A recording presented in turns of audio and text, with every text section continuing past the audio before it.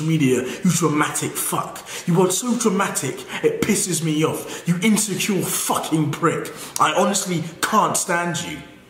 You're on you you it's like your brain, your brain doesn't fucking work. You, you, you idiot. You're honestly an idiot. I don't know what's, I don't know what's wrong with you. You, but your ego is pissing me off. You think you're, you think you're the shit. You think you're so high and mighty. you I mean, you literally, you're literally comparing yourself to a god. Whereas you're far from it. You still, you're still stupid in your fucking head. You idiot. You're honestly an idiot. You're an imbecile. And I can't stand you. I can't stand you.